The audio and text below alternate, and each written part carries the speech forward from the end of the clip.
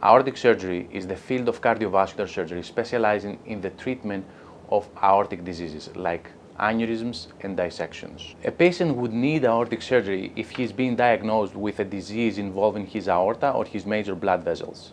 Usually most of these patients are asymptomatic and they have no symptoms. The diagnosis is being made uh, incidentally because they have diagnostic studies performed for other purposes.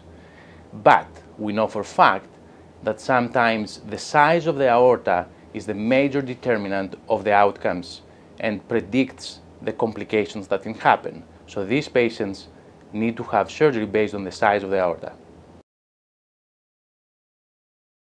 Aortic disease uh, is uh, usually a disease of the older individuals, of the older patients.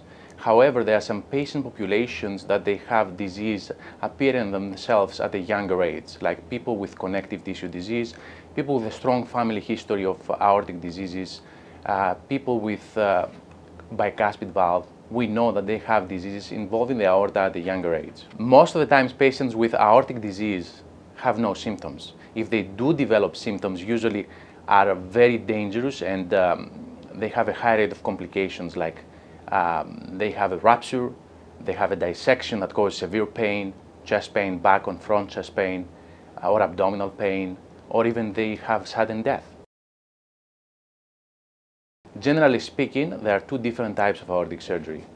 Uh, the open traditional approach, the surgical approach, where you do a skin incision at the site of the aortic aneurysm and you basically resect the aorta that is dilated and you replace it with a cloth material and then the endovascular technique where you use catheters from the arteries at a distant point and you deploy a stent at the site of the aneurysm in that way. Most of the patients, however, with aortic disease and aortic enlargements, they need to have a regular follow-up appointment with uh, expert teams consisting of an aortic surgeon, usually a diagnostic radiologist with uh, experience uh, on evaluating aortic aneurysms, and a cardiologist.